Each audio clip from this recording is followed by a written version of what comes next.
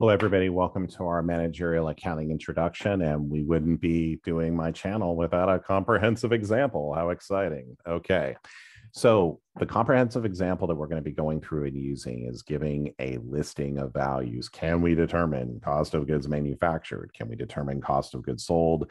Can we prepare a multi-step income statement? And we can can we go through and prepare the balance sheet portion of the inventory? So to the Google Sheets.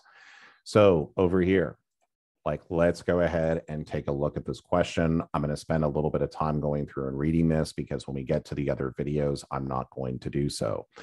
So ZI manufactures electric bicycles for teenage children looking for freedom prior to driving a car.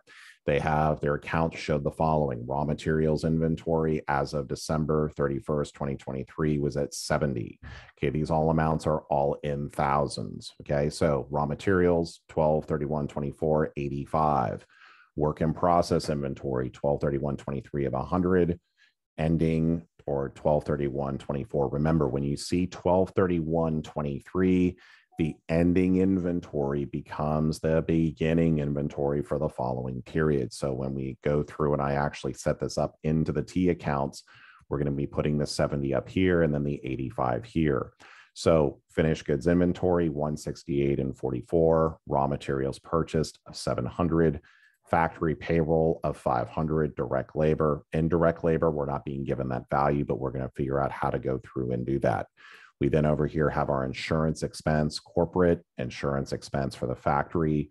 We have sales. We have sales commissions as a percentage of sales. Delivery costs, basically those shipping costs to our customers. That's a tricky question, but I'm putting it, that in here for a very good reason. Depreciation expense on office equipment, depreciation expense on factory equipment, cleaning services for the corporate office, cleaning services for the factory, We've got sales salaries, executive salaries, accounting staff salaries, utility costs, utilities costs, corporate office, production supplies used in the factory, supplies used in the office, uh, property tax expense, factory property tax expense, corporate, and then we have an income tax rate. So for this question, we're going to be asked to go through and do a few different things. The first one is going to be to determine our cost of goods manufactured. How do we determine that? Second one is going to be to do the cost of goods sold. The third one is we're going to prepare a multi-step income statement for the year ended December 31st, 2024.